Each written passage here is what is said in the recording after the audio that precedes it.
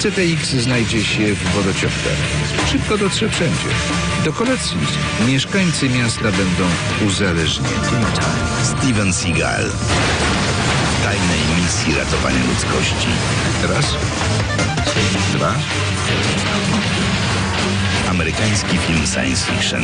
Siła rażenia. Dzisiaj o 21.